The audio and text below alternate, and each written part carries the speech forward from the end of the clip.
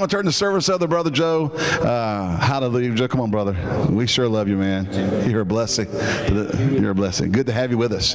Go for it. All right. You got until 3 o'clock tomorrow morning. 3 o'clock tomorrow Yeah. morning. All right. Here we go. Praise the Lord. Sure is good to be back with you. Yeah. It's uh, fun to be back in your church. I've watched the kiddos grow up. It's not right that they're all older now. Uh, I don't know how that happened, but it just does, you know. Praise the Lord.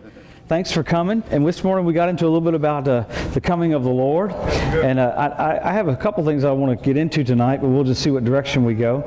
But uh, boy, I like bringing the claws, man. I could tell you stories all night uh, of people getting just really, really cool miracles because He hasn't changed.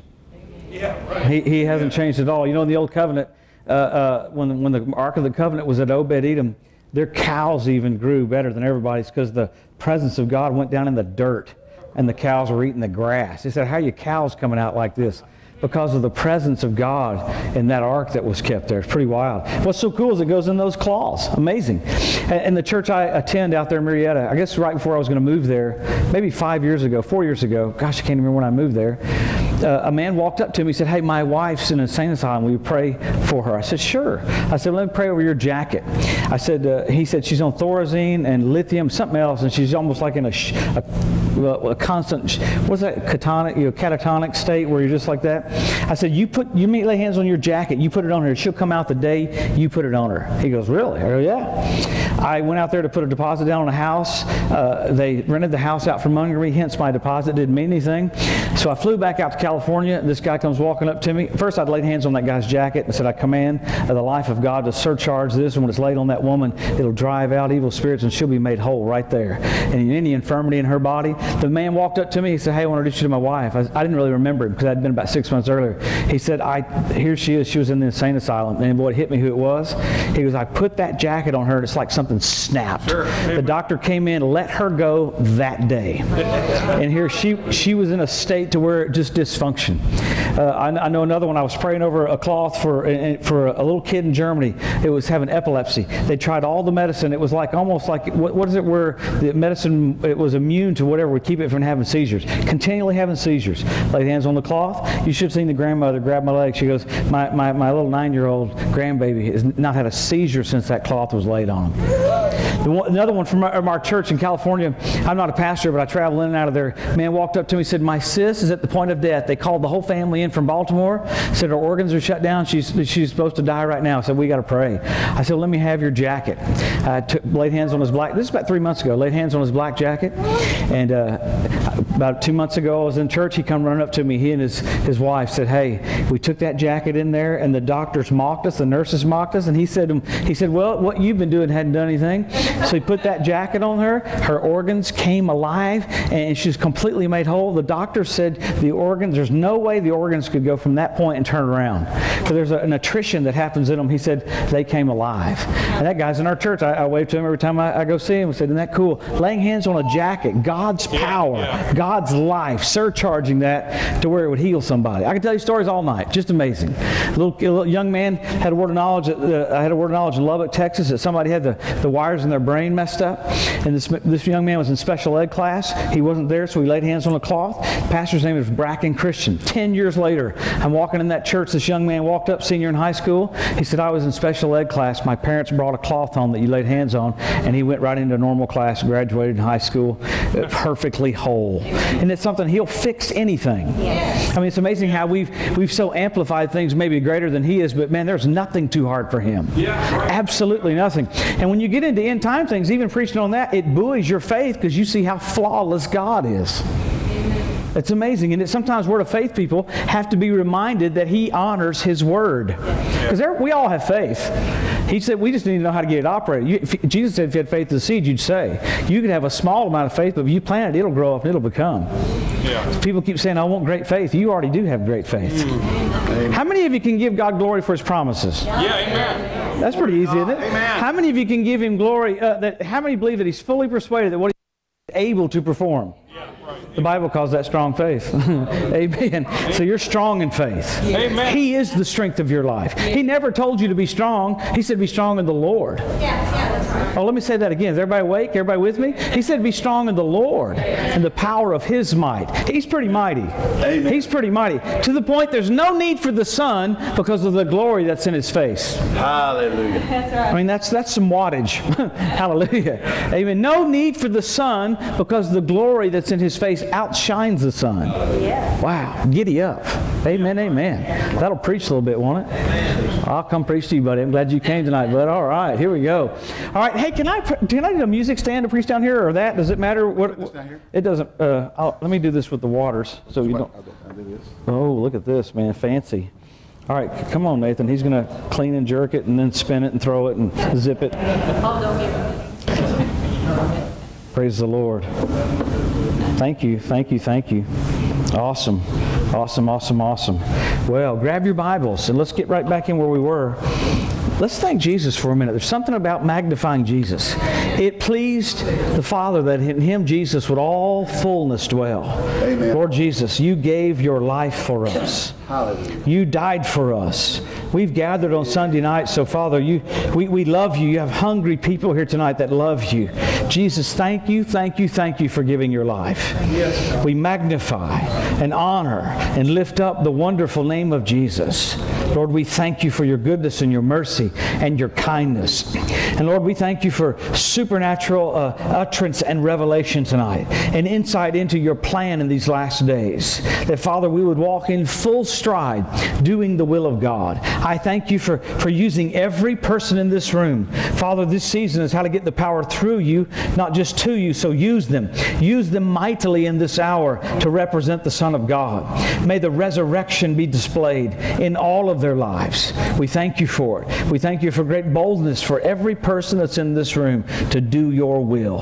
I thank you, Father. I thank you for a new walk for the believer, a new walk of boldness, a new walk of daringness, a new walk of righteousness, to know who they are in Christ, and to access a throne rights in this earth. We thank you for it. And Lord, as we approach these truths, we thank you that it will be illuminated in our hearts and minds how, how great you are. We magnify you. We glorify you. We thank you for being so good to us, Father. In Jesus' wonderful name. Oh. Everybody said amen. Amen. Grab your Bibles, go there to Luke, go to Luke 21. We'll pick up where we left off and we'll just see what direction we go. What did we get into this morning? Anybody remember? End times, right, okay. Uh, how do we know we're living in the last days? The Bible says when Jesus came to us, he spoke to us in the last days. The Bible said, well, the Holy Spirit was poured out, that was the last days. So we know we're living in the last of the last days, and we went through about seven or eight of the signs this morning to show us, Jesus said, if you see two of these, you're living in the last days. Yeah. He said you could see and you could know. Kenneth Hagin prophesied years ago there'd be a spirit of seeing and a spirit of knowing on the church. Where'd it come from? It came from that verse that we read this morning. Uh, What is that talking about? When Israel is uh, made a nation, the fig tree budded in 48, it's so blatant you could see and you could know. Yeah. You don't have to even be told that. You go, wow, summer's here. So harvest is here. So great changes are happening right now. I mean, I do this update. I didn't talk about it this morning. I'm going to do an end of days update every Wednesday on, on the website. And last week, 55 nations watched it and 15,000 people watched it. I first did it for a couple months. I thought, man, nobody's going to watch this thing. And then they told me so many people were watching it because people want to know. So what I do is I tell people what's happened this week. Like this week, China uh, exported some missiles to Iran that have a range of 4,000 miles. And I go, I go and talk about how Russia, Iran, and all these nations that have gone through an Arab Spring, they're wanting to attack Israel again, just like they did in 1948, just like they did in 1967, just like they did in 73. So those nations have gone through a change because they want to annihilate Israel. If you'll notice, right when the Israel was made a nation in 48, hang with me, I'm going to get to my message here in just a second, that Hitler killed six million Jews. Satan thought he could stop God's word from coming to pass, so he killed six million Jews. But God's word is so powerful, they still were made a nation. I mean, think about Hitler. His book was called Mein Kampf. It means my struggle. You know what that word is? Jihad. Same word. You hear that you hear that a lot these days because of what's going on. But it's that same mentality. And Ahmadinejad in Iran believes that he'll usher in his Messiah, the 12th Imam, if he goes to war with Israel. And this is what he said. He says, The 12th Imam will come and reign for seven years, and he'll kill all the Christians and all the Jews, and Jesus will come back with him and say, I'm not the Son of God. So, see, that spirit that's, that's at work right now in Iran. That's why Iran wants nuclear weapons. So, uh, there's so much going on about things are setting up for the Ezekiel 38 war. And I get into that every week. And I'm, I'm not going to get into that part tonight because I want to get into some other stuff. But man, we are living in the deal. This is it. You say, could, could we really be living real close to the Lord's coming back? Well, I gave you the signs this morning. Israel made a nation in 48. Jerusalem won back in 67. Hebrew language restored. Wow. Ethiopian Jews brought back. Fertility of the land of Israel. Revival of the Roman Empire. There's a whole, whole lot more. Uh, the, the oil of anointing was found where the Dead Sea Scrolls are. They have to have that. Red heifer was, was born there on the land. The Temple Mount Institute was, was uh, uh, established to where they're ready. The moment we're raptured, they're going to start having sacrifices again. They've been going, guys been going to school. Their last name is Cohen, means priest. They've been getting their priestly garments already because God owes them seven years of Old Testament time back. And it'll pick up just like Old Covenant time. Woo, hallelujah. Hmm. But before we get, what we're going to get into tonight, I'm going to skip over a few things, but let's go through the order. We're going to be raptured soon. A lot of people don't like the rapture doctrine, but we are going to be raptured. We're going to be caught up. Enoch was raptured. Elijah was raptured. Jesus was raptured. Wow. And we will be raptured.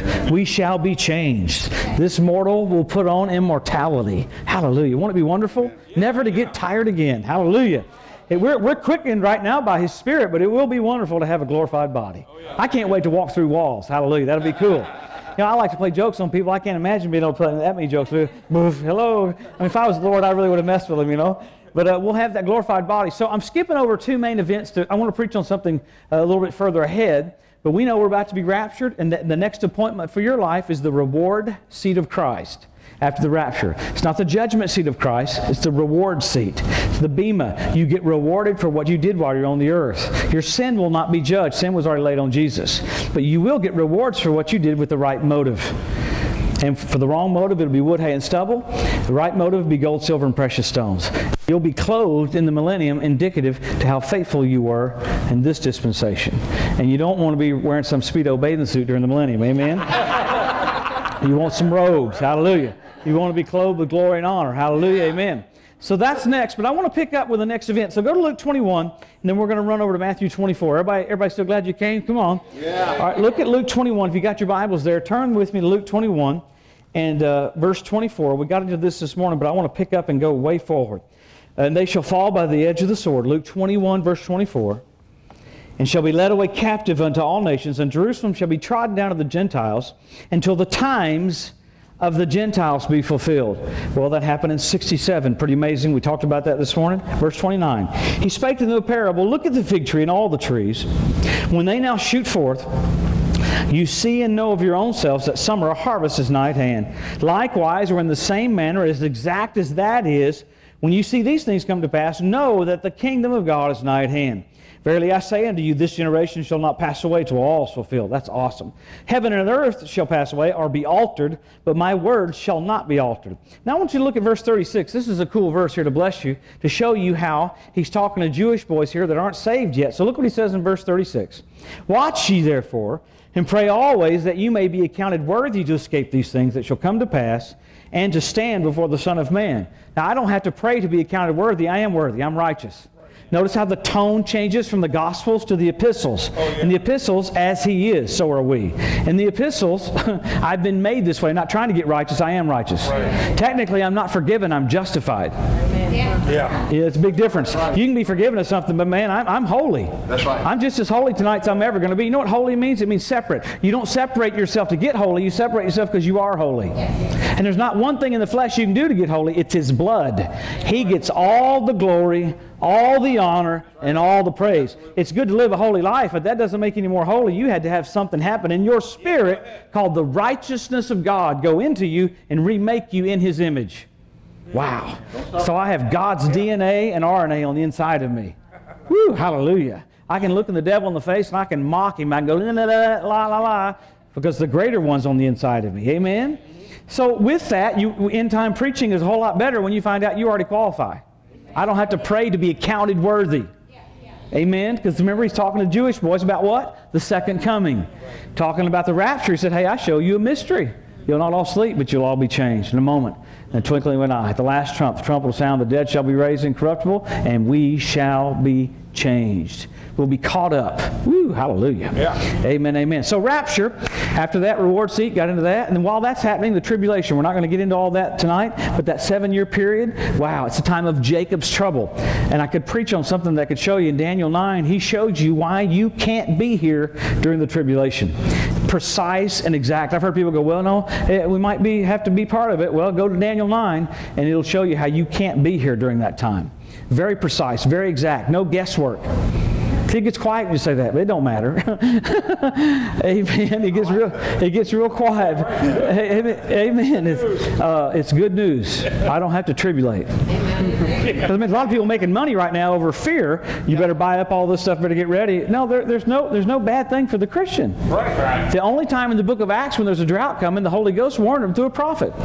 Yep. Yeah, I told him there was a drought coming. The Holy Ghost will tell you what's coming. Yes, he he said he will announce and declare things to come. Yeah. Whew, hallelujah. But I want to skip over to the next event, the grand event. We're going to get into two grand events tonight. We'll do it in a short period of time. The grandest event ever is Jesus coming back to the planet. Yeah. We're going to get into the second coming for just a couple minutes, then we're going to get into the millennium because I want you to see a little bit about the millennium to see what God's invested in you right now. He's put so much strength in you right now that you really don't realize how strong you are probably get into the next dispensation. Because He's put such an investment in you that tonight you know you're righteous. Tonight, you know you know the Word of God. I mean, you can you can quote Mark 11, 23 and 24. We, I went to Brother Hagin's meetings in 1970. I wasn't that excited about hearing Brother Hagin speak because he was so boring. He'd go, he turned his Bible every service, turn to Mark 11, 23, and I'd go, oh my God, he's going to preach the same service. But I didn't care. But my mom would go, we're going to go halfway across the country to hear Kenneth Hagin. I would do anything to get out of school. Yeah. If, if I can get out of school, I'm going to hear Brother Hagin. But it took it took years of him teaching. You have what you say. You have what you say. You you you are what you say. Oh, yeah. What you say is headed your way. Yeah. I mean, you think about it. Those three words of of say in Mark 11, 23. Number one means authority. Number two means you're on the earth. Number three is Legos, building block. Everything you say, you're building. You're building for your future. Just like God made the worlds, you're making your world. Yeah. Amen. So, so we've had that hammered into us, so that we would be a, a group of people right here before the coming of the Lord that would that would be just like Daniel prophesied about. We'd know our God, we'd be strong, and we'd do exploits. A lot of people know the Word of God, but not the God of the Word. You get to know the God of the Word, and, and you laugh in the face of impossibility. Yes. Hallelujah. Glory to God. Amen. Amen. Amen. I'll, I'll tell you this story. We got to go to Matthew 24. I'm going a little bit everywhere. Go to Matthew 24. I ran over Colleen. I don't know if I'd done that last time I was here. I think you've probably heard the story of me telling it in Rocky Mount. We were at Winter Bible a couple years ago and went over to some people's house, um, Joe Dunnick's house, for a party for John Michelle's son, Zach, my little nephew. And we pulled in the Circle Drive, and I told Lauren, uh, my daughter, and my wife Colleen to get out of the van to go in the house that way, and they did, and they went in this other door, and I didn't see them, and there were cars in front of me, so I had to back out of the Circle Drive. Well, I looked over like that to see who was behind me, and there was nobody behind me. I pulled over and ran over Colleen's leg. The car went up Colleen's uh, ankle and calf, rode all the way up her leg. She lays on the ground screaming. I, of course, pulled off of her leg. 'Cause, man, I heard her screaming. I knew exactly what it was. I ran over my wife. I got, I, I, I get out of the, I get out of the car, and uh, Lauren's standing there looking at Colleen like that, and I walked over to Colleen. Now, what? This is why you got this investment before Jesus comes. I walk over to Colleen. I said, I command you to be healed right now in Jesus' name. I said, get up. She looked at me like, are you crazy? You just ran over me. She, she goes, I mean, that look is like, what, are, are you nuts? I said, get up. I grabbed her just like that, picked her up like that. You could feel the power of God go up and down her body just like a heater. She goes, oh my God, this is real. We, we stood there for a minute. Little kids were kind of standing around because they had seen her screaming, just screaming. Instantly, she's healed. We walk into the party, and uh, uh, how's it going? Good. And I'm thinking, I just ran over my wife. Help me, Jesus. I, I flew to Daytona, preached. Colleen flew back to California. She was walking the neighborhood, jogging, then jogging, and running the neighborhood. Didn't have any pain after, after being run over by the car. So this is why you don't think, im- no impossibility. This is absolute. It doesn't maybe work. It works, period. Amen. You don't get saved and go, hmm, I wonder if that took. But that's how people treat the rest of the Word of God. Uh-huh. Because you're taught so well in salvation. You should be just as bold about everything else in your inheritance. You're right. Amen. So, with that said, right here before his return, he has a flavor he wants. Woo, hallelujah. Because he's about to come back to the planet. So go to Matthew 24 and let's get into these things because I want you to see what we're going to function in. And man, it'll bless you about your future. Matthew 24, here's the big event. Matt, you got your Bibles there? Yeah. All right, Matthew 24, look at verse 27. Here's the big event. For as the lightning comes out of the east and shines even unto the west, so shall also the coming of the Son of Man be. Wow. So it's going to be pretty dramatic, like lightning. Yeah. Immediately after the tribulation, this verse 29, immediately after the tribulation those days, the sun will be darkened, the moon shall not give her light, the stars will fall from heaven, the powers of the heavens shall be shaken, and then shall appear the sign of the Son of Man in heaven, and then shall all the tribes of the earth mourn, and shall they'll see the Son of Man coming in clouds of heaven with great power and great glory. Now this is going to be the coolest event because we come back with him on horses. Now I've ridden horses, but I like motorcycles better because I can tell my motorcycle what to do better than a horse. I've never, uh, you know, horses, I grew up, I, I was basically there to clean up. You know what I'm saying? To clean the barn. But this is the cool thing. You're going to fly on a horse. I mean, I don't know what the deal is with that. You know, I've flown airplanes before, but I ain't never flown a horse. I mean, what do you do? Lean left. Here we go. Come on, Trigger. We, we, got a little, we got a little, got a little deal here. What of an event this is going to be that people at the end of the tribulation, the Antichrist is going to look like he's going to destroy Israel. The yoke is going to be on their neck. The Antichrist will be right there on them, and he'll remove that burden from off their shoulder with the brightness of his coming. Yeah. No negotiation. Right. The King of Kings and Lord of Lords says, with the brightness of his coming, the, the Antichrist will be annihilated. Yeah. Wow, and you carry that anointing with you everywhere you go. You have this treasure in earthen vessels. Yeah. Woo! What a view, though. They're going to look up and they're not only going to see Jesus, they're going to see all these horses flying down toward the planet with you on it. Yeah. The armies of heaven, hallelujah, coming with Jesus. Wow, what a, man, that's going to be a trip. That'd be good to have you. that'd be good to have some video of that deal. Amen. So watch what happens here at the second coming. I want us to get this because at the second coming, Jesus bodily comes back to the earth. Now watch what he does at the second coming. The wicked are taken off the earth. Okay? The, the people that made it through the tribulation, the wicked will be taken off, and the righteous, natural bodied people will be left. Now, that's a big deal because everybody on TV preaches out of this and they don't get it right. But I want you to get it right because he's going to leave the natural people on the earth to replenish and repopulate the earth. But the wicked will be taken off. That's where the wheat and the tares grow together. And at the end of the age, the angels are the reapers. They separate the wheat from the tares. So let's read this. Everybody, everybody with me there? I know I said that fast. Everybody with me? Yep. All right, look what he says here in the next verse. Verse 31 He shall send his angels with a great sound of a trumpet. They shall gather together his elect from the four winds from one end of heaven to the other. That's not the rapture. This is at the second coming. The rapture's already happened seven years earlier. So he goes on and talks about what it looked like. Verse 36, but of that day and that hour no man knows, no, not the angels of heaven, but my Father only. He's talking about the second coming here, not talking about the rapture. We have all the signs of the second coming, so we do know the day and the hour. He wasn't talking to the church, he's talking to Jewish boys here. Then why would he give us all these signs about his coming and then tell us we wouldn't know? Come on now. All the, there's no sign for the rapture, but there's tons of signs for the second coming. So we have a sense of the timing of it based on everything happening in our generation. No other generations had what I talked about this morning and a little bit tonight. No other generation has had Israel made a nation. Jerusalem won back. The Hebrew language restored. All those. That's indicative of our time. Why would Jesus say, look at the fig tree? Because he wants you to know what time it is. So go down a little further. He gives you a little bit about what the climate is in verse 37. But as the days of Noah were, so shall also the coming of the Son of Man be, just corruption and violence. For as the days that were before the flood, they were eating and drinking and marrying and giving in marriage until the day that Noah entered into the ark, and knew not till the flood came, took them all away, so shall also the coming of the Son of Man be. Now, this is what's crazy. They've gone through seven years of signs. You have an asteroid hit the earth called Wormwood. It destroys a third of the waters because it's radioactive. I've preached on this in Russia. It's the word Chernobyl. Okay? So, so all this has happened and still people are eating and drinking and marrying. You have nuclear war, a third, a two billion people killed with nuclear war, and people are still going, hey, let's go out and let's get married, let's go date. So it's amazing how people still want to continue on as life as usual in the midst of all kinds of hell happening. I mean, two billion people will be killed. One third of all men will be killed during that time. I mean, that's going to be a bad time. Thank God we're in heaven. Okay. Okay. Now let's look, look at the next. Look at the next verse here. I want to get moving and get to what I want to get to, but just hang with me.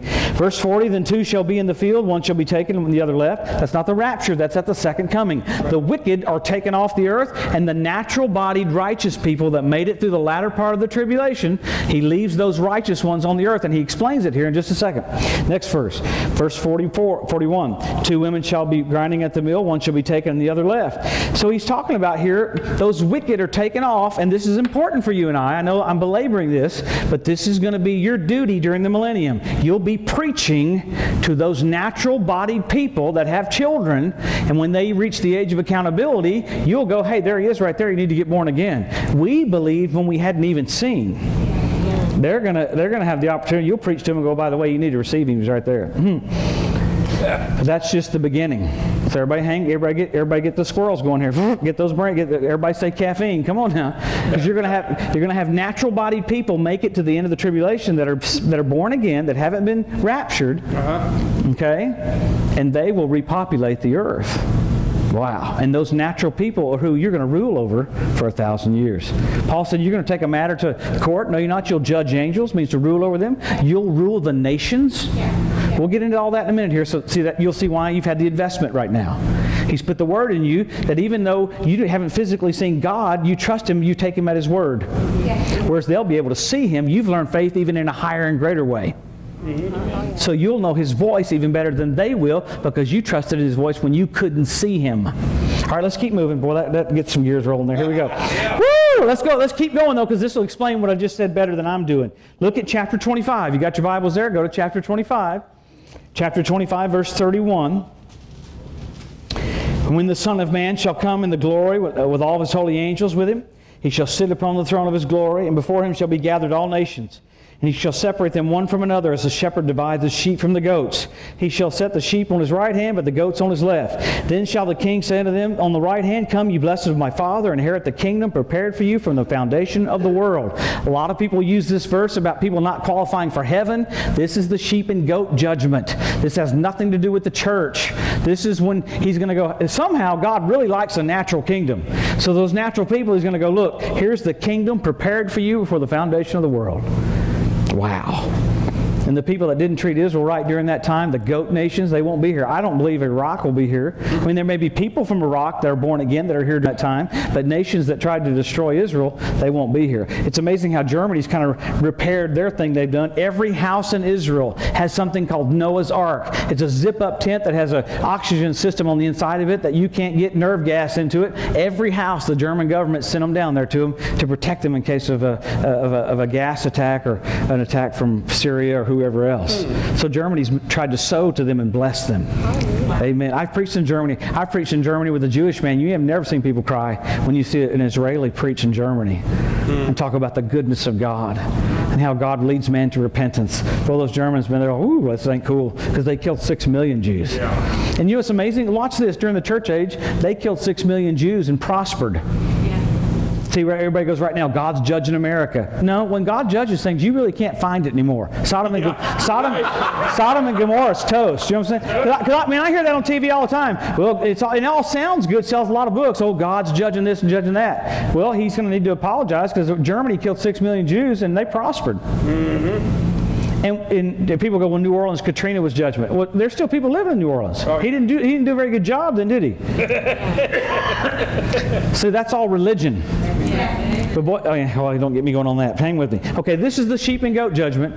This is setting you up for why I'm going to preach on the millennium for a minute, because you have to see who you're going to be ministering to. Natural people that make it through the latter part of the tribulation, that are going to be having children, and you're going to be in a glorified body, ruling and reigning over them. Hallelujah. Because see, there's a whole other realm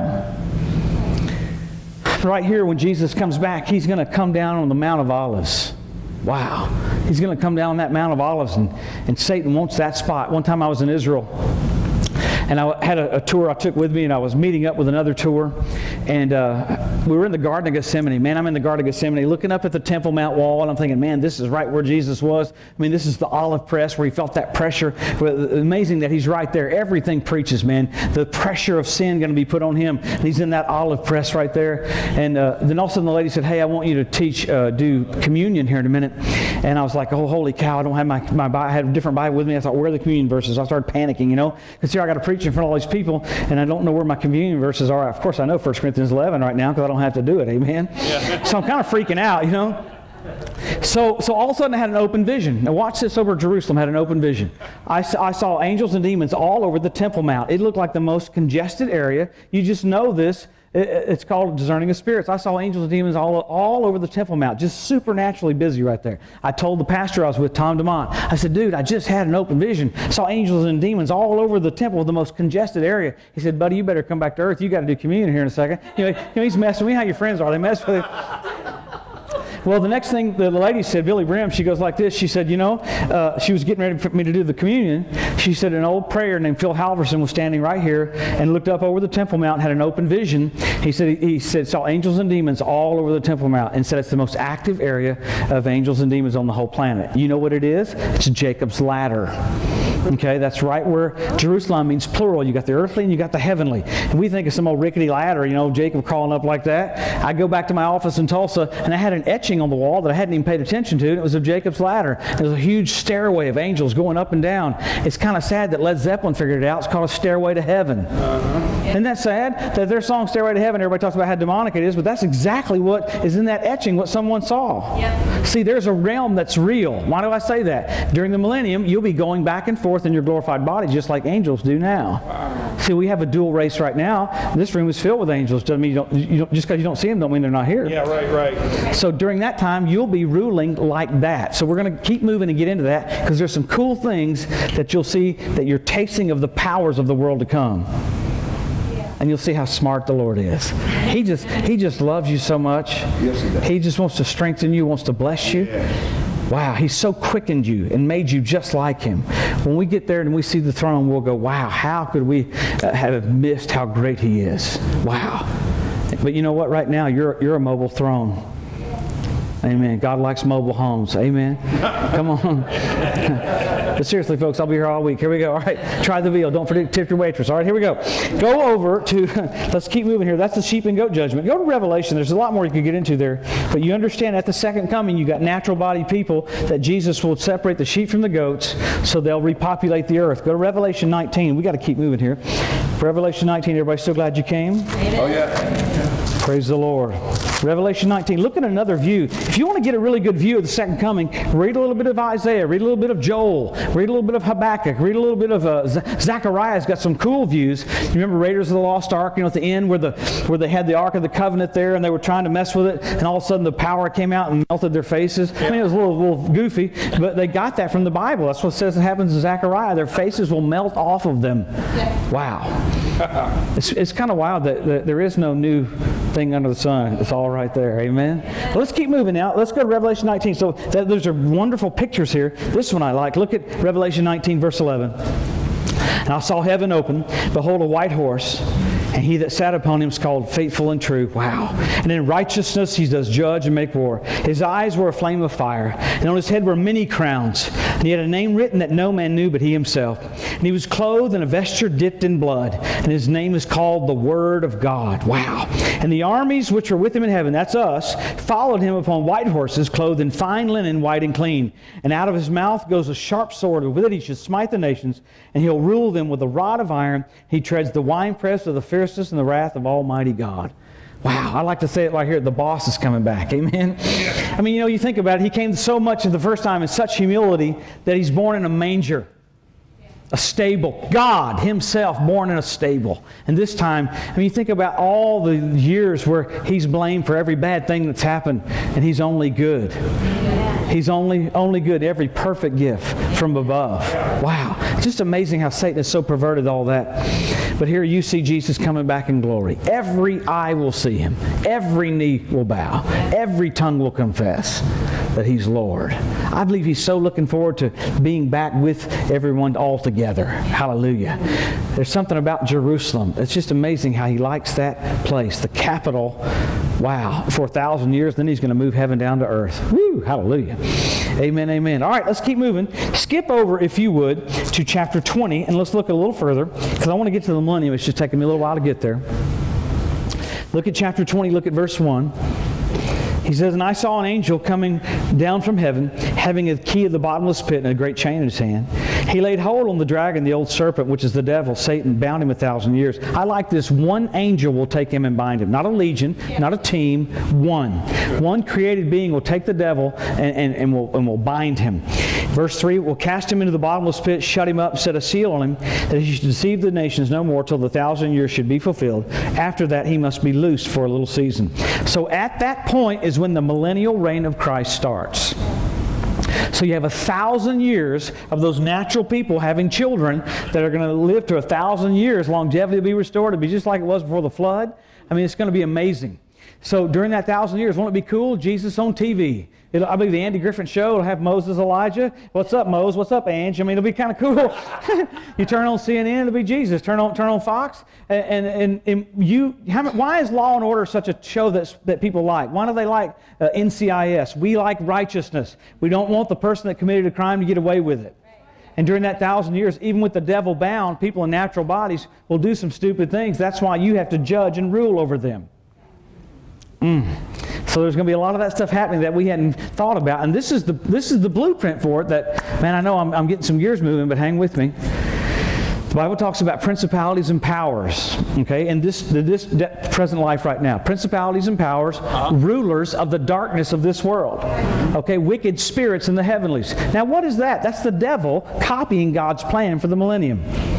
Hmm. See, you'll have a sphere of influence. Now, get with me now. Yeah. If you're faithful over so much, you rule over one city. Faithful over so much, you rule over ten cities. Yeah. So you'll have a sphere of influence of rulership over those cities. But won't it be wonderful during that thousand years? Righteousness will reign. The movies that'll come out will be the coolest movies. look at Solomon. I mean, it'll be, it'll be it'll all. Look at how David did this. It'll be the coolest thing. And peace will reign for a thousand years. The Prince of Peace, when he comes back to the earth, it'll just be wonderful. So let's go back and look look at the atmosphere here in a minute so you can see why God's invested all of this in you. 100 years ago, nobody knew who they were in Christ. John Wesley said, Give me 10 men that hate sin and love God, and I'll change the world. He had that revelation, but if you said, Are you righteous? He go, I don't know. Mm. He go, I'm trying. You know the same? You know, we, we are that generation that know we're Him.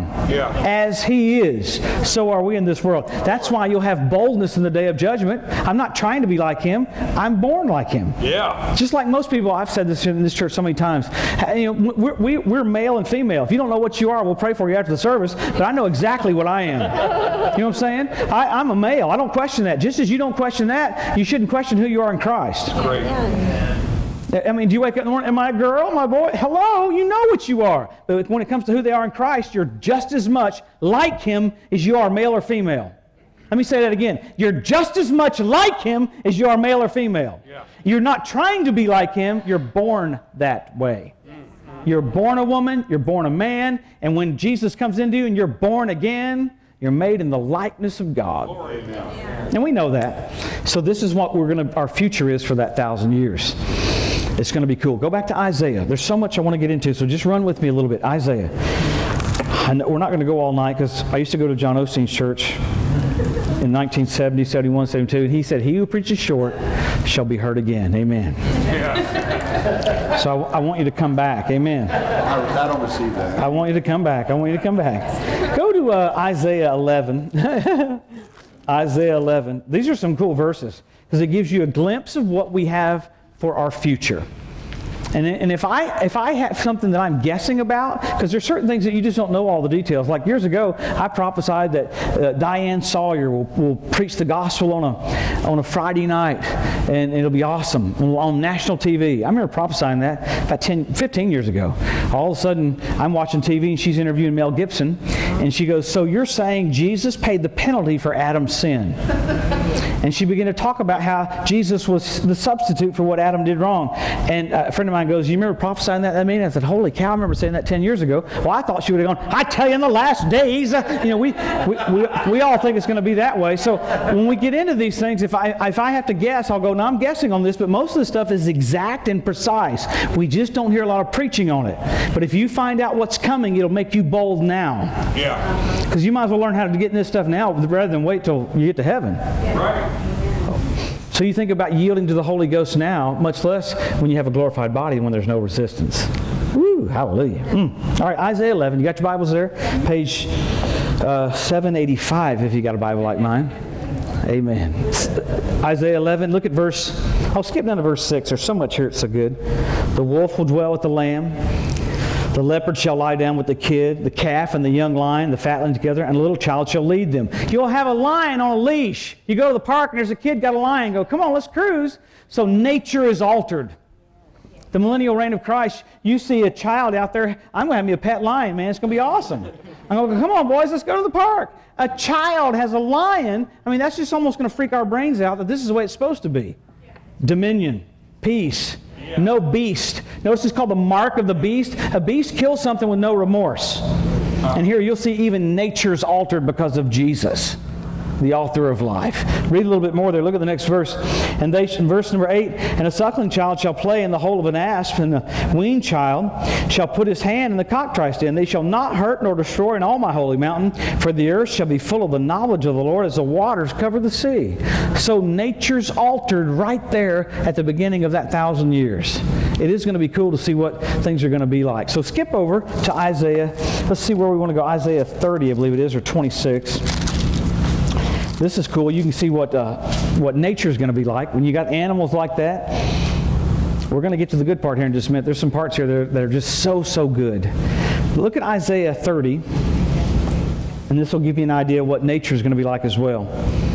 Moreover, Isaiah 30, verse 26, Moreover, the light of the moon shall be as the light of the sun, and the light of the sun shall be sevenfold as the light of seven days. And the day the Lord binds up the breach of his people and heals the stroke of their wound. So the nighttime will be like our day.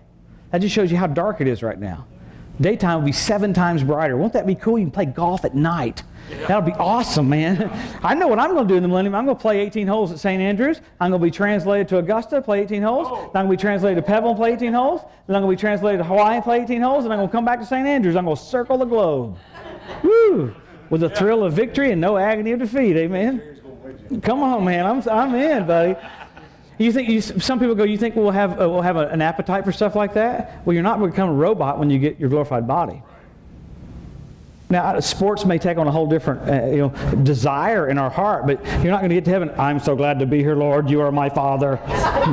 no, he, he made you so different. Look around the room. He made us all different, which is a miracle in itself. That the muscles in your eyes, nobody else has the same muscles in the eyes as you do. Nobody. Your eyes do more calculations in a second than all the computers stacked together. Yeah. Read it, man. It's unreal. God's awesome. Ooh, hallelujah. We ought to talk about that star stuff. That freaks people out. Let's keep moving here. Here we go. Let's go on to that's that's nature. It'll be just like before the flood. Obviously, photosynthesis will be better because plant life with all the sun, so you have oxygen, so people live longer. It's going to be cool. It's going to be fun, fun, fun. Daddy won't take the T-bird away. Amen. Skip over to Isaiah 60 something. Here, go over there. You, you pick out the chapter. We'll see if you're flowing. Come on. Isaiah chapter 60, let's look at a few verses. It's so good because we got this weird idea about what it's going to be like. It's going to be very natural, and people are going to be rebuilding things and having houses and jobs and all that. The natural people are, and you'll be overseeing them in glorified bodies. Now, this, I'm going to guess on this one. Okay, you ready? John 14, he said, My Father's house are many mansions. If it were so, not so, I would have told you. I go to prepare a place for you, that where I am there you may be also. I believe you'll be living in your house in heaven and commuting back and forth to earth, just like angels do right now. Remember what Jesus said about angels? They do always behold the face of my Father for these kids. So they can before, before, be before the Father back down on earth faster than you can even think. So the commute's going to be kind of cool. like, I think I'll go to Africa. Poof, you're in Africa. Hallelujah. But look what he says here in Isaiah 60. Let's look at some verses. Skip down to verse. Well, there's so much. I'm, I'm just trying to edit as I go. Go to verse. Go to verse uh, 21. Verse 21 Thy people also shall all be righteous, they shall inherit the land forever. The branch of my planting, the work of my hands, that I may be glorified. A little one shall become a thousand, and a small one a strong nation. I, the Lord, will hasten it in my time. So there's going to be people having kids, building and planting, and you're going to be preaching to those people when they reach the age of accountability. They're going to be having services. I'll show you about church here in just a minute, but there's so much cool stuff here. Skip down to verse 4 of chapter 61. Let's look a little further. I'm just giving you bits and pieces, but I want you to put the puzzle together as we go. Chapter 61, verse 4. And they shall build up the old waste places, and they shall raise up the former desolations, and they will repair the waste cities and the desolation of many generations. I can tell you right now what Russia's going to do the first hundred years of the millennium. They're going to get some Clorox, and they're going to get some uh, uh, something to clean that country. You know what I'm saying? So the first hundred years, they're going to be rebuilding what was damaged at the latter part of the tribulation because of all the nuclear war. So it's not. See, we think of it like bewitched. We think the Lord's going to stand here and go, like he's going to wiggle his nose, and all of a sudden the whole earth's going to be like that. No, people will naturally build and plant. He likes that. You get to put the work to your hands to it. Now, those natural people will be doing that while you're preaching to their kids and overseeing and judging and ruling and reigning. Be very, very cool. Let's look at church for a second. You say we have church during the millennium? Oh, yeah. So we have tithing during the millennium? Absolutely. It's going to run the whole government. Yeah. Amen. It's not going away. Well, everybody gets quiet and say that. Woo! I'll do Elvis right there. Preacher, Brother Joe. It's all over you. Here we go. Come on, man. Go to uh, Zechariah. Find Zacharias right before Malachi. This will bless you. Look, let's look at church. Look at church. Wait till you see. You'll, you'll, you'll, you'll be shocked at how blessed we are on the church age. Look at Zechariah 14, if you can find it. I know they'll probably put it up there on the board. That, that brother's so fast. God bless you, buddy. Zechariah 14. Oh, there's so much cool stuff. I want you to get there, so run with me. Zechariah 14. Verse 16, and it shall come to pass that everyone that is left of all the nations which came up against Jerusalem. So, see, there'll be some natural bodied people left that came up against Jerusalem, all right? So they're still here on the earth. Watch what happens here. He said, They shall even go up from year to year to worship the King, the Lord of hosts, to keep the Feast of Tabernacles. Now, watch this.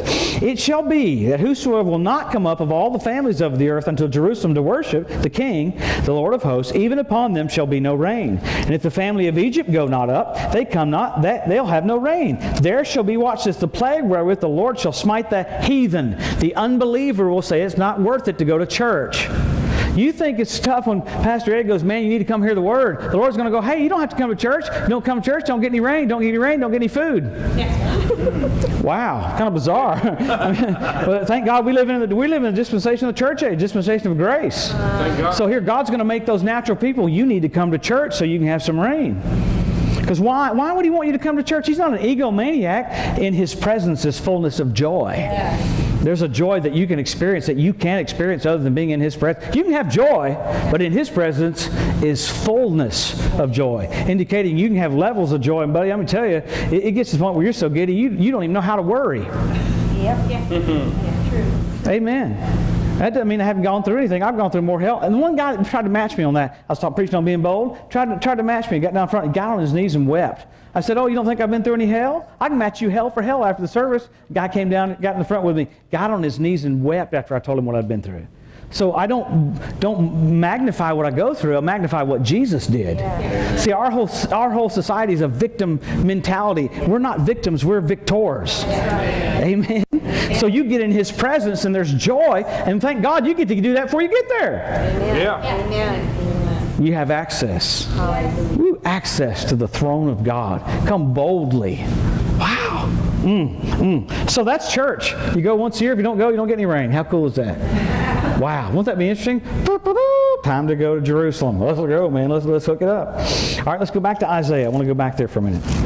I'm getting to the part that I want to get to, and we'll close in here just a second. This is the good part. And we're going to sing something off our greatest hits album. Hit CD number seven, and we'll hit that one. Here we go. Go to Isaiah 65, and this is why I'm, preaching on this tonight to get you ready for what your job description is. Isaiah 65. Look at, look at Isaiah 65. All right, look at verse, well, there's so much, but go down to verse, verse 20. There shall be no more, Isaiah 65, verse 20. There shall be no more than an infant of days, nor an old man that not fulfilled his days. For a child shall die a hundred years old, but the sinner, uh, being a hundred years old, shall be accursed. Okay, so the natural person that's a sinner, he can die at a hundred years old. But the, the natural sinner will not die at 100 years old. Maybe he's doing stupid jumps on his motorcycle, like let's, let's say a saint is jumping on his motorcycle, okay? Natural bodied, born again person that you've preached to after he's reached the age of accountability. He's doing jumps on his motorcycle. Used to, they just did motocross. Now they're doing flips and everything. Maybe he does one and, and makes a mistake and breaks his neck. A glorified saint walks over and says, No, not in this dispensation, rise up and walk. It's in you to raise people up.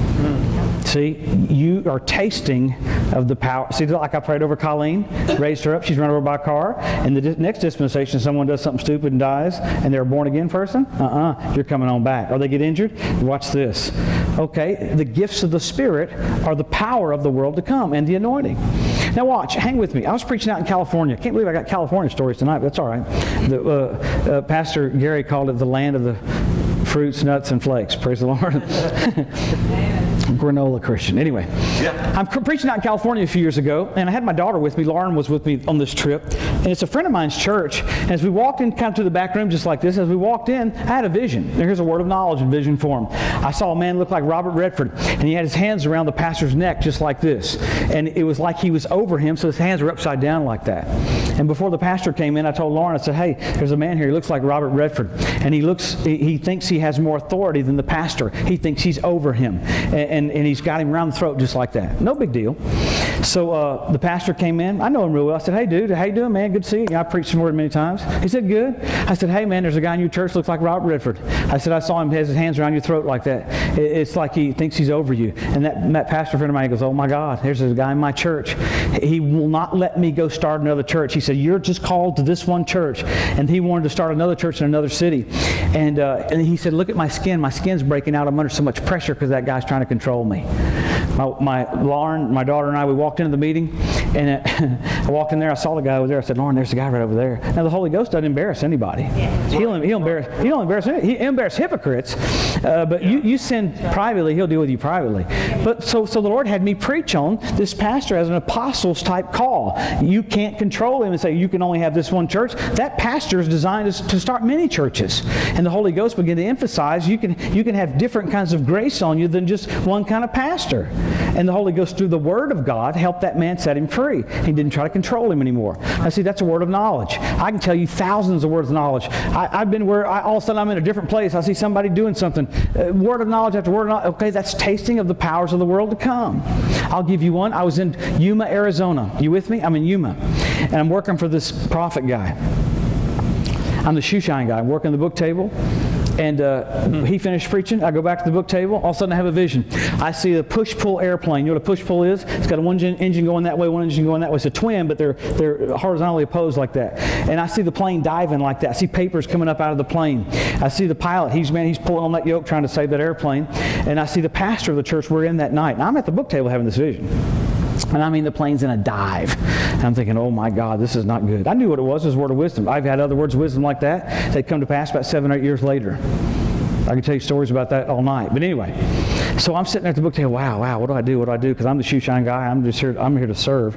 Uh, I'm not here to prophesy. So we're going to go to Denny's and get us a Grand Slam. Hallelujah. Yeah, amen. We're going to get us some pancakes, bacon, sausage. Woo, hallelujah. So we get to Denny's, and that pastor, we're sitting there, I'm eating my pancakes and all that. And the pastor goes, "Hey man, I'm going." We're all sitting there, and I, am just, I'm just being quiet because I'm, I'm trying to figure out, Lord, when do I, when do I say something about this? And he goes, "Hey, I'm going flying tomorrow in a push-pull airplane." I'm like, "Holy cow!" Because uh, I'd seen it, you know, 30 minutes before we even got there. So I'm just going to eat my pancakes. Okay, when do, when do I say something? Because I don't want to go, thus saith the Lord. Buckle up, buddy. It ain't doesn't look good for you in the future. No. I see, the Lord will show you something about the future, but it doesn't mean it's going to be, you know, there's no fear. So I said, you know, when it, when it came time to end, I was like, oh, I got to say something, you know, because I don't want to go the guy I'm working for. Just, just hold that, brother. It's all over me. you know, you don't want to do that. You don't want to do that. So I said, hey, uh, uh, Pastor, I said, I had a vision uh, before we came over here of you in a push-pull airplane. I said, I'll tell you what your pilot looks like. He's bald, got a little bit of white hair, kind of uh, blonde hair right there on the sides. Had these little glasses on. He's pulling on the yoke. Papers are flying up in that plane because the plane's in in a dive. And it's a push pull. He goes, wow. I said, well, you know, don't be afraid. Just before you go over and fly with him, I'd get him checked out, make sure everything's make sure everything's kosher. Just pray over the plane, do whatever. You'll know. You have peace. I've had words of wisdom where I was supposed to pray, so uh-huh. something could change. This I didn't have to pray because he was right there. It was really him. Okay? I flew from Yuma to Tulsa. The pastor called me. He said, I went out to the airport, checked the guy out. He'd used fraud. He said he had all these checkout rides in a push pull, had not. And he didn't go for a ride that, with that pastor, with that guy in that plane. I could tell you other words of wisdom were just absolutely bizarre. I mean, bizarre, where God just did things where you're just like, wow, God, you're so cool. You know, okay, that's the power of the world to come. Now, hang with me. This is I've done all this to get to this right here.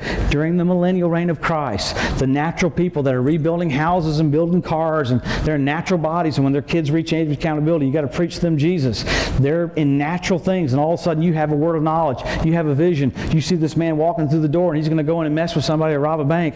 All of a sudden you walk right through the wall and go, "Oh no, you don't. Your name is Alan. You're going to try to do so and so. How'd you know that? You do just like Jesus. Before you came over here, I saw you under the tree." He won't go, You're a prophet. He'll go, You're a saint of the Most High God. And you will stop crime on the earth. Amen. He said, You'll judge means you'll rule over them, angels, and you'll rule over nations just like he raised up judges in the old covenant. I know that gets our gears moving a little bit because most people think they're going getting raptured and it's over. It's not over. You're just starting. Yeah. You're tasting of the powers of the world to come. You think about this, man, that raising people up. You have that in you when someone does something. Maybe someone's trying to clean top of their house. They slip and fall off the top of their house, miss the ladder, bam, they're laying there, their back's broken. They're laying there going, wow. Uh, and all of a sudden, you've already seen it. You've had a word of wisdom. I got to go over to such such house. He's about to fall off the deal, and I got to raise him up. You walk over, in the name of Jesus, rise up and walk. And the, the flow of the manifestations of the Holy Ghost will be so much easier. I can, I can give you more. I'm in a meeting uh, uh, years ago. I'm sitting back there in the back, and I'm traveling with another guy I was preaching for. It's hard for me to even think which one to do because I got, I got so many stories. It scares me. I'm sitting in the back, all of a sudden I saw a woman bent over by her bed. She said, I can't take the pressure anymore, I'm going to kill myself. There's a little doily on her side table there. Her bed, the springs were real old like that. And the guy I was with, he said, Hey, you, you got something, Joe? I go, No, no, I didn't have because I was scared. It was like 1986. I wasn't, wasn't full time then, I was just starting to travel. So he walks around for a minute and he goes, Hey, Joe, you got something. I said, okay. I came down. I said, there's a lady here. I saw you put your hands on your face. She said, you want to kill yourself. Can't take the pressure. Elderly woman. She come walking down, exact same one. I said, I'll tell you what your bed looks like, tell you what your table looks like, because that's right. God knows everything. He just does. He loves people. He doesn't want that woman to commit suicide. You'll be doing that kind of stuff on a continual basis. I'm preaching in Montgomery, Alabama. I see a vision, see two elderly women fist fighting going just like this. I mean, they weren't going like this. They were swinging their arms like, it was like rock and roll, man. I was like, holy cow. I mean, I'm talking upper 70s, early 80s, just, just going at it. I mean, that's not a cool sight to see sweet elderly ladies. I mean, just, just rock them, sock them, you know, with WWF. So, uh, so at the end of the service, this is in Bill McRae church, and not Bill McRae, Bill McNeese, Bill McNeese's church in, in Montgomery. I said, all right, there's a couple ladies here. Now, you using a fist fight out in the parking lot, and you need to go to, to go tell the other one you're sorry, and because uh, the Lord Lord wants to fix that relationship. He wants those ladies to be happy with each other. After the service, I saw the ladies while I was preaching. Because see, the Lord, Lord, Lord knows. I walked out to the book table. They walked up to me and they said, hey, can we talk to you? I said, sure. I said, come here. They said, we're, we're the ladies that got in a fight out in the parking lot. I said, you guys were going to town. She said, yeah, we're going to town. And she said, you know, we're, we're going we're gonna walk in love toward each other. And I said something to him. I said, this is kind of cute. In every given situation, somebody has to be the adult. you, will go through life, and that'll preach to you forever in every given situation. So see how the Holy Ghost, I mean, I can tell you story after story after story where, where he's trying to help, he wants to help that relationship with that, that, that, that, that those two ladies. He wants to help that pastor. That pastor started that other church, and that other church is growing more than the other church he has because he obeyed God. Okay, so there's a flourishing of this. That's why Brother Hagin, he always goes back to 1 Corinthians chapter 12. He taught my people faith, but he loves the flow of the Holy Ghost to invest in your life a mentality of what these activities of the Holy Ghost are. Yeah. Right now, they're harvesting tools. In the next dispensation, they'll be what you use to operate all the time. Hmm. I mean, when Jesus was there and Nathaniel came walking up, Jesus said, Indeed, as an Israelite whom's no guile. He goes, How'd you know that? Freaked him out. He goes, well, I saw you under the tree. He goes, oh, you're a prophet. He goes, this is nothing. It was a word of knowledge. He goes, hereafter you'll see the heavens open, angels ascending and descending on the Son of Man. Like this word of knowledge ain't nothing. I'm operating from a whole nother level than what you're thinking. Hmm.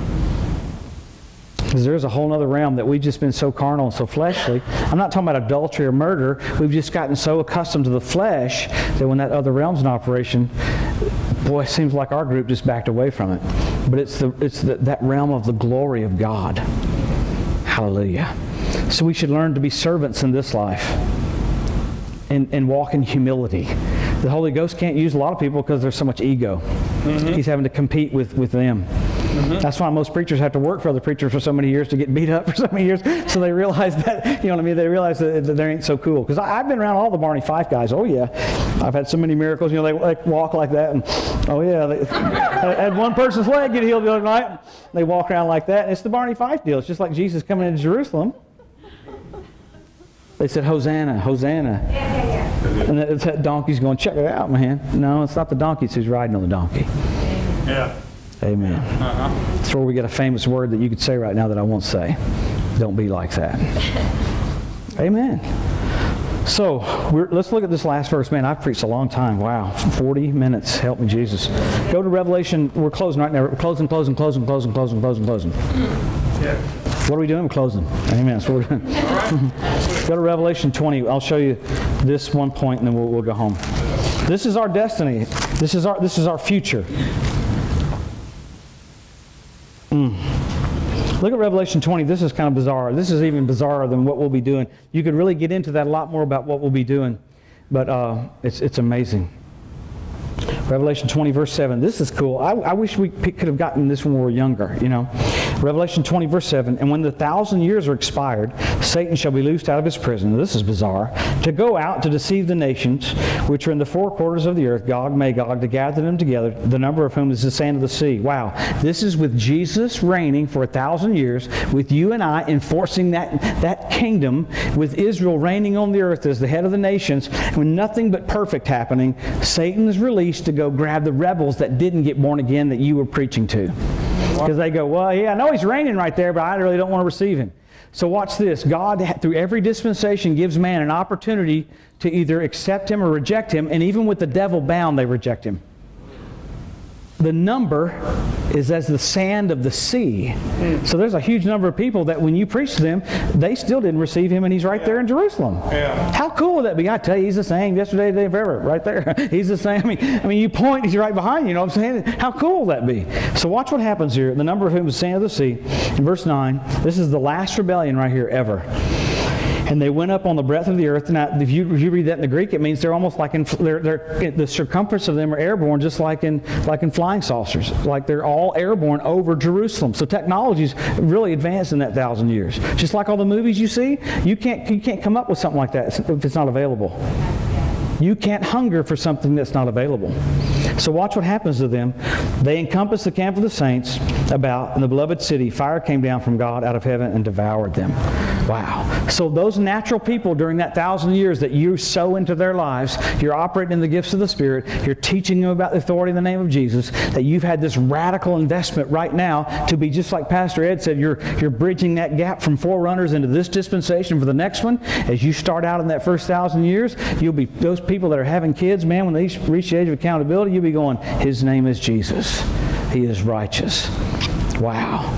And the ones that rebel at the end are toast, but all during that thousand years, you're going to have fruit and harvest just like you have now. Because so many people go, I don't want the Lord to come because I, I got so much in my heart. Yes, you have a lot in your heart. You're going to live forever. Hallelujah. You know, I had to. Um, had a couple Fender Strats over the years, and the Lord told me to give them away. Kind of, we were talking about it this morning. Kind of hard to keep. I, I like to collect them. It's kind of hard to collect them, give them away. So I got a Telecaster, and before I got the Telecaster, I bought this little cheap guitar because I like to play the guitar. And um, I knew what the Lord told me. I was getting ready to buy this little cheap guitar. It's just a little electric guitar. It looked like a Les Paul. It's pretty cool. He said, why don't, you, why don't you learn how to play every instrument? I was like, what? What are you talking about? He goes, you're going to live forever. I was like, wow. I mean, we just think so right here. Want you learn how to play the violin? Want you to play the piano? Want you learn to do all? Do it all. Wow. We, we have been so hoodwinked by the devil that we look right here in front of us. And you need to live for eternity. I know this is a whole different message because, see, that's why I travel.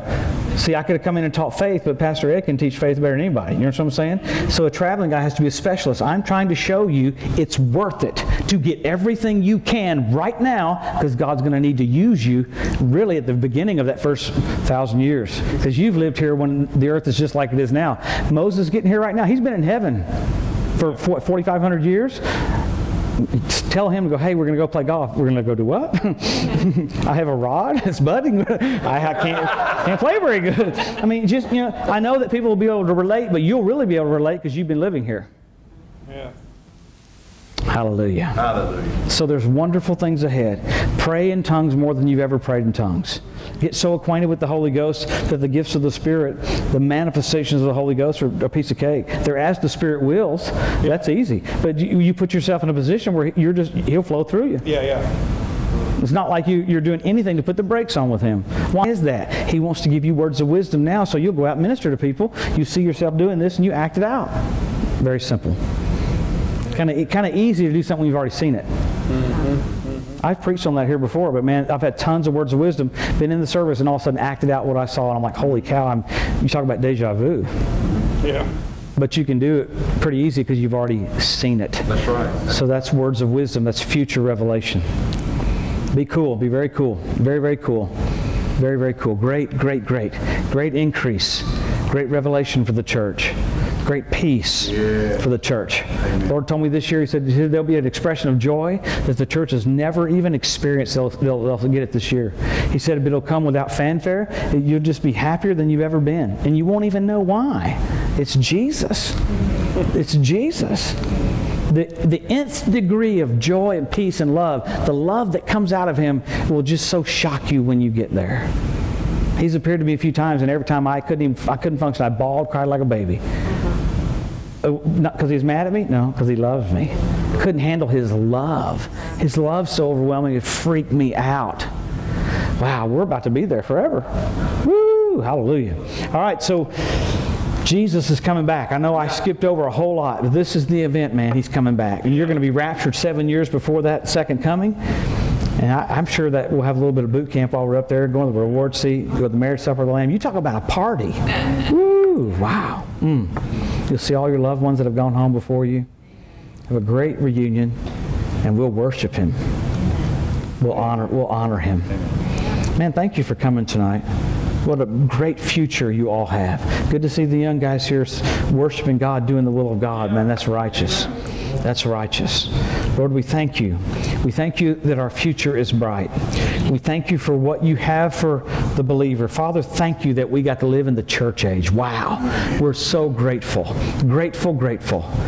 Father, we, we come to this point in the service just to worship you and honor you. And thank you for your goodness and your mercy and your kindness. By yourself, you purged our sins. Thank you for dying for us. Jesus' wonderful name. Amen and amen. We'll pray over these cloths for a minute, but I want to make sure I don't miss a word of knowledge, you know, I miss a miracle, whatever. I, I, you know, I have weird words of knowledge. Uh, the other night, where was I? had someone, I said saliva, and a, a lady come down, her saliva glands were shot. I had Birmingham, saw a woman fly fishing, catch the hook in her eye. Uh, same service, saw a guy fall down the stairs, prayed for him. Saw a guy get run over by a car. He was right there on the front row. Weird words of knowledge. I mean, bizarre. Like, uh, but God just wants to take care of damage. Amen. I saw a gash on a tongue on Terre Haute, Indiana. Called out, little boy been playing with a snapping turtle. Snapper, he stuck his tongue out. Snapping turtle ripped his tongue wide open, and he, he was healed right there in Terre, Terre Haute, Indiana. Can anything good come out of Terre Haute? Help me, Jesus. I'm just let's just thank Him for just a minute, and then we'll, we'll pray over these cloths. Lord, we thank you for your goodness. Lord, thank you for revelation for us about our future, revelation about our destiny. Thank you, thank you, thank you, thank you, Lord. Thank you for blessing us. We are so grateful for your blood that was shed two thousand years ago. We give you glory, we give you honor, we give you praise. We thank you, Lord, for your goodness and your mercy and your kindness. I thank you, Lord, that your mercy endures forever. Your mercy endures forever. We magnify your mercy tonight. Father, we thank you for these cloths. We lay hands on these cloths now, just like in Acts 19:11, you wrought special miracles through the hands of Paul. And we thank you that this presence, your glory, your nature, Father, your nature, it is life everlasting and it creates life everywhere it goes. So we thank you as we lay hands on them that they're put on the bodies, the sicknesses will depart, evil spirits will go out, and the people will be healed and strong. We thank, we thank you for it, Father. Wow. Thank you for your glory, surcharging these cloths. Surcharging these cloths, Father. Surcharging them. Hallelujah. We thank you they're surcharged. They're charged, Lord.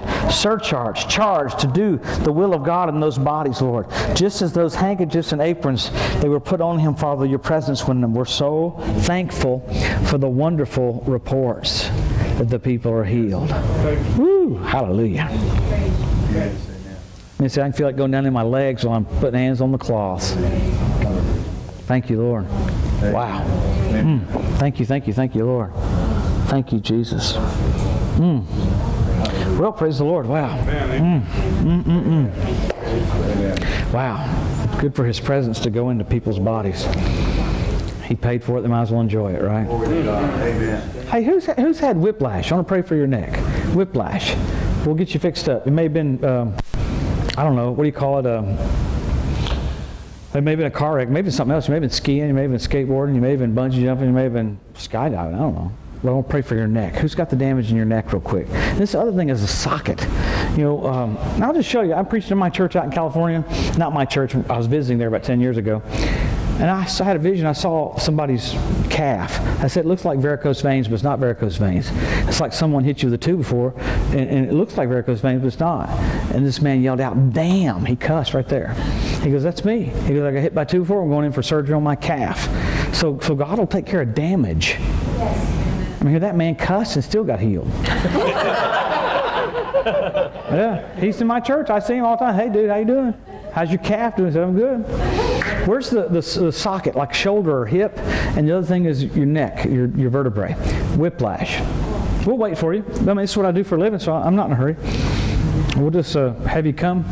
We'll pray for you. A lot of times, I lately I've been going out there, by they don't even have to come down. You know, it's full service church. Praise the Lord. What happened to your shoulder? I don't know. It just it hurts a lot all the time. Okay, just over a period of time. Okay. Well, just and it's struggle all the time. Yeah, well, let's pray. Pleasant. well, you know, he, he was beaten so you wouldn't have to have it. Amen. So let's take advantage of it. Lord, thank you for blessing our sister. We're so grateful that she's saved. So grateful with that package comes her body being whole. So we speak to this socket, her shoulder socket. We command this, wow, you scar tissue, you be gone from that socket right now. And we command it to be totally whole in the wonderful name of Jesus we receive, Lord, what you did for us 2,000 years ago. Done. Isn't it wonderful? We don't have to talk him into it. We just get to take it. Wow. Amen. You're blessed. And it couldn't get your shoulder fixed up. Good to get your shoulder. Where's the Where's the whiplash? Whiplash. Man, I can miss it. I'll be, I'll be real bold to tell you, but I can miss it by a mile, dear Lord. But I could talk to you all night about the crazy stories. You go, holy smokes. Isn't that the truth? I could, I could talk, I could talk, you, you go, that's not possible. Whiplash, whiplash. Going once, going twice. What do we have for him, Bob? Amen. Oh, wow. He loves you so much, he wants your neck fixed up. Yeah. Amen. He just does. He just loves you. I was in Newtown, had a word of knowledge somebody had damage in their kidneys. Nobody came down. Lord says, that guy right there. I said, you got the damage, don't you? He said, yeah, I just went on dialysis. Barry Fredericks, the pastor's name. Wow. Mm, hallelujah. He'll fix you up. He's the quicker fixer-upper. and you may be here and you've never done that where you got your neck prayed for. That's okay. I won't hit you. I'll just pray for you. Well, I have hit people before. but, they, but, but, but, but, they got healed, you know. That's the lady I hit last time I was here, and there was a couple here. The lady was a federal prosecuting attorney that was standing right there, and they go. They went to my meetings in Hobbs, New Mexico. Went to my meeting in Iowa. Went to my meeting in Galveston. Went to my meetings in uh, I mean, they Canton, Ohio, they just show up everywhere because that lady's an ex-Muslim and loves to see the power of God. I said, in your church, I said, how many of you never seen the power of God come down here right now? You've never seen a miracle. Remember that? I said, come here. Lady, you've been in a car wreck. The Lord told me here on the back of the head. And that, that lady that just converted from Muslim, she goes, man, they just show up all over the country. Amen. Federal prosecuting attorney, um, help me, Jesus. Where's the neck person? I don't want to miss you, you know, because I, I, I don't, I mean, because I, I could miss it, man. I could miss it by a mile, but he just loves you. He loves you, he loves you, he loves you, he loves you, he loves you. You know what he told me right before I walked in? Number one, it's amazing. I'm thinking about what all I got to preach on. He goes, make sure they know I love them. Make sure they know that I love them. Perfect love casts out fear. Casts out fear. Bless you, Master. Praise God. All right, we'll wait on the, the neck one for a minute. We'll make sure don't miss anything, then we'll go home. You're early tonight. It's 8.15. Thank you, Jesus. Let's thank Him for a second, then we'll go. Father, we thank you for your goodness and your mercy. Hallelujah. We bless you, magnify you. Hallelujah. Thank you for your oh, goodness and your mercy. You, Lord. It endures forever. We thank you that endures forever. Your righteousness. Wow, we love you, Lord. We honor you, Lord. We thank you for your equipment for this church. We thank you for the call for this church, Lord. We thank you for a flourishing for faith and victory. For the days ahead, a, a, a, a lurching forward of the will of God. We thank you for a momentum for faith and victory, Lord. We thank you for great grace upon this church, Lord. We mm-hmm. thank you for a lighthouse of the glory of God. For miracles, signs, and wonders to be wrought here and be taken out of here. We thank you as they go out into the streets and in their, their workplace, Father. The supernatural equipment of the Holy Ghost will function through them with such ease. We thank you for it, Father. In Jesus' wonderful name. Amen and amen. Man, expect words of knowledge, expect words of wisdom, expect, uh, uh, use your authority. Be, use the name of Jesus and expect heaven to function with you, to cooperate with you, and you cooperate with Him. Hallelujah. Praise God. Man, I, I appreciate you coming on Sunday night. As busy as all your lives are, thank you, thank you, thank you for coming. I just want to make sure I don't miss, miss miracles. I've waited before. Grabbed my Bible, the Lord said fingernails. I said, what? Nothing wrong with my fingernails. And a lady had been saying all day, this is Brandon, Florida. She'd been saying all day, I'm going to get my fingernails done. I'm going to get my fingernails. Bill McDonald's the pastor. So I'm walking off. So he wants to heal people so bad that he'll yell it to you while you're walking off. Fingernails. Amen. Amen, amen, amen. Praise God. Thank you, Lord. We magnify. He's good. Somebody's skin's being healed. Just take it. You don't even have to come down. Hallelujah. Amen. Somebody, the inside lining in your nose is being healed too. Just take it. Wow. He's just good. You, you- something you hadn't even thought of. He'll, he'll take care of it. Thank you, Lord. Mm. Well, praise the Lord. It's good to see all of you. A lot of you I've known for years, and some of you are new to me, but thank you for coming. Thank you for being so easy to preach to and uh, being so good and sweet. We'll uh, look forward to seeing what happens. I believe you have a great summer. Yeah. Explosion. Jesus is coming very soon. Make sure you exhort, exhort each other. Have a great, great spring and summer. Amen, amen. Wow. Man, the presence of God, you just feel it's good. Mm, mm, mm. Sound man, you're blessed for being so faithful. You're blessed, you're blessed, you're blessed, aren't you? Hallelujah. Praise the Lord. Praise the Lord. Amen, amen, amen. Wow, you know, I, I just had something for, for Dr. Bill right there. You watch. There'll, there'll, there'll be, this is, a, this is weird how the Lord uses the word. There'll be a recirculation of the will of God for your life. You know what I mean? It- you I would think of the word restoration, but it's a recirculation of even things that were given to you in years gone by that you thought, well, that will that won't be for this day, won't be for that day. You watch it; will come to you almost like a wave. You'll go like, wow, I hadn't thought of that in years, hadn't thought of that in years, hadn't thought of that in years, hadn't thought of that in years. And all of a sudden, boom, all of a sudden you're doing those things that he put in you years ago. Wow. And it'll be with great ease. I mean, no, no laboring. I like no labor. Amen. Hallelujah.